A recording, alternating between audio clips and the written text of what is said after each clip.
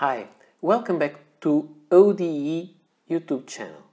Today I'm showing you a pen that I got from Kaweco for review and this is another of a series of pen that I already reviewed and so I don't think I will take too much time to do it and this is the Kaweco Perkeo.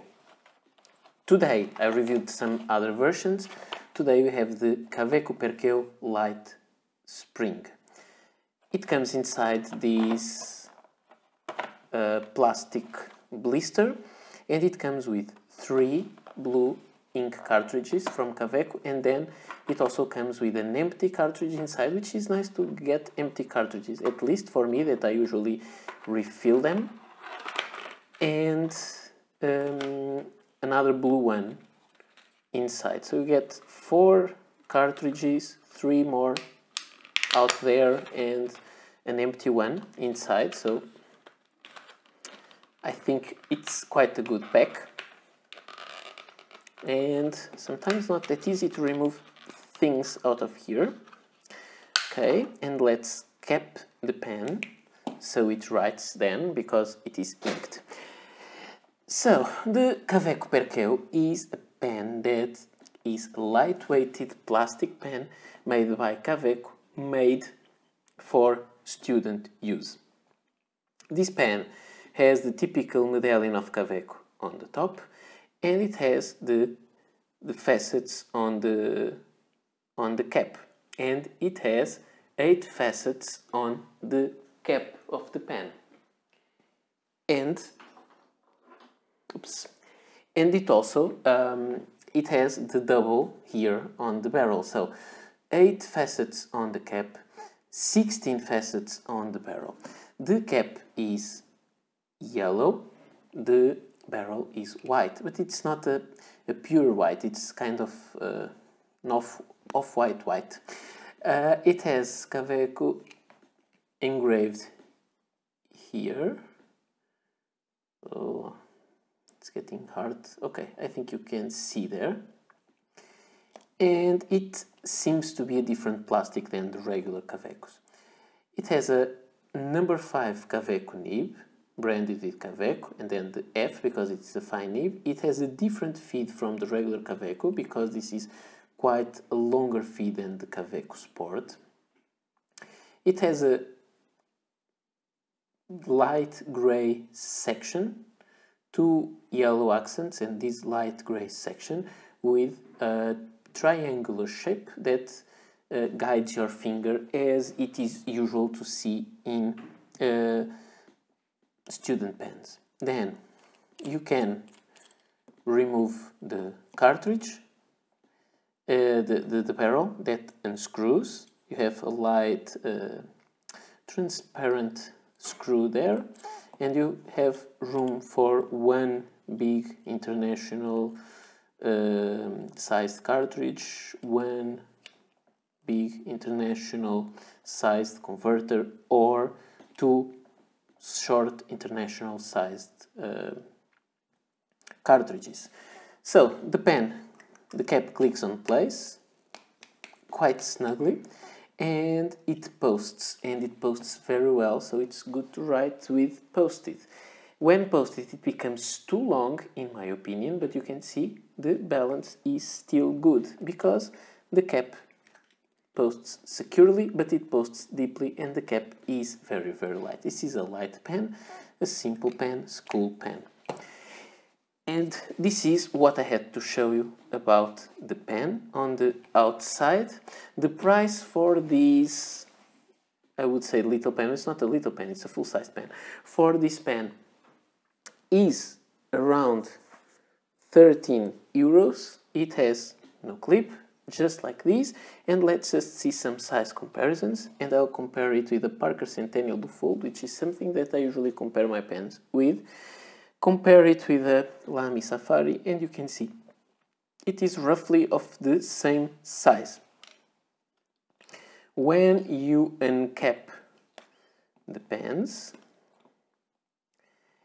you will see that the nib is more similar, not in shape but in size with the uh, Lamy Safari.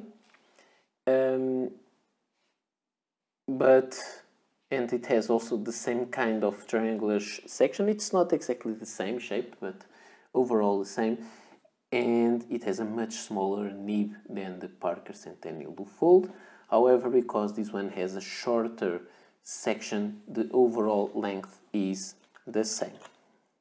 Let's take this out of the way. And you know that I like to make color comparisons. And so that's what I'm going to do now. And I'm not comparing it with a lot of yellow, different yellow pens, but with Kaweco pens to make it more different. And so, first, I've, I talked to you about the white. I'm not sure if the exposure of this video is right to show you, but I'll try. Okay, this is the, the white from this light spring, and this is the white from a Kaweco. No, I think it's better.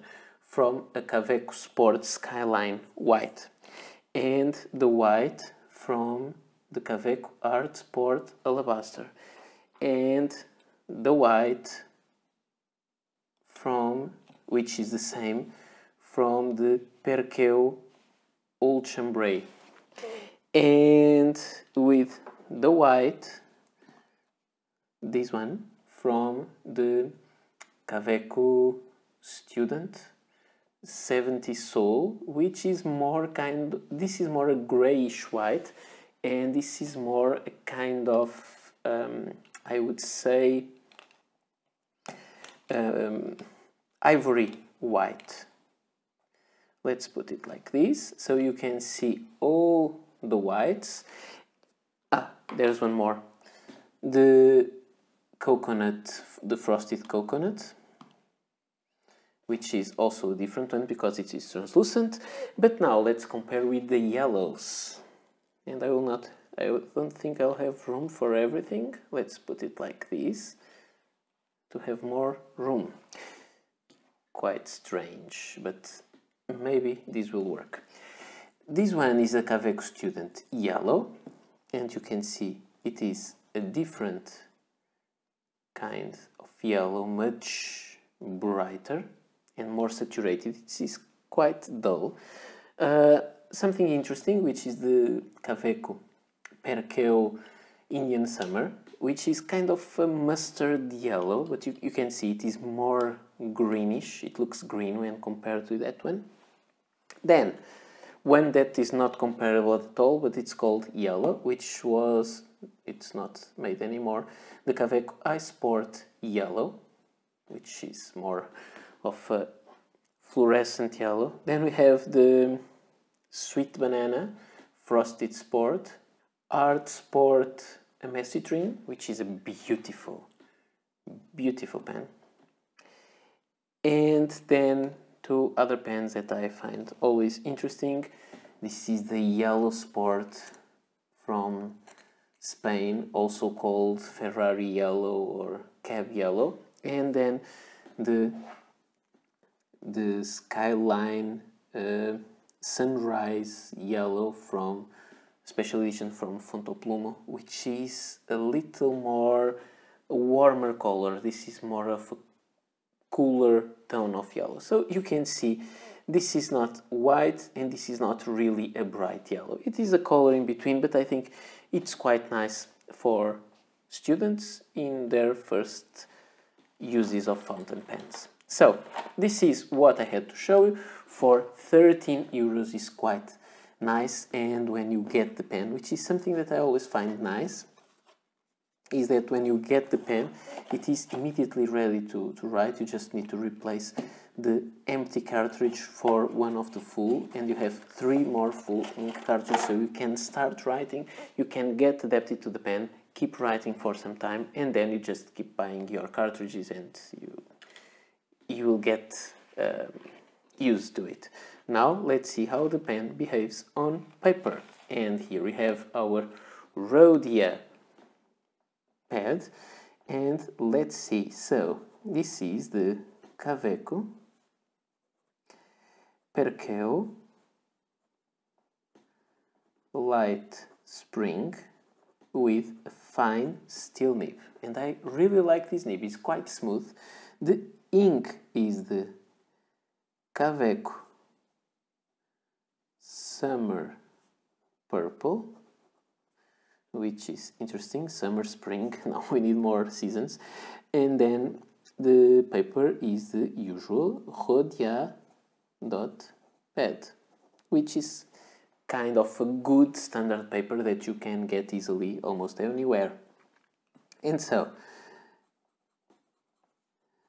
this is how this pen writes and it writes really well. It has a little feedback. Maybe you can hear it. It may sound quite exaggerated, like if it was scratchy. It's not scratchy, it just has some feedback. And I would say it, it writes quite a good line. It is maybe a little generous line for a medium, for a fine nib, but it's not a medium. It's more on the fine than the medium, but a large fine. Um, it writes well about the natural line variation.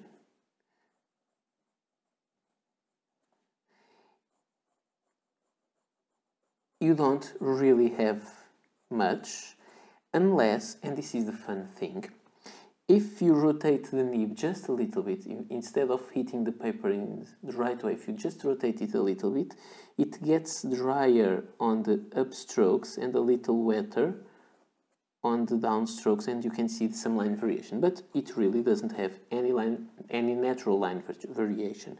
So the line is as you see if you press hard you can have some line variation but you really need to press hard.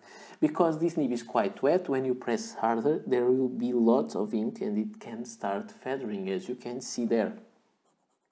About the wetness. This is how wet the pen is, not much, but ink is not very wet also.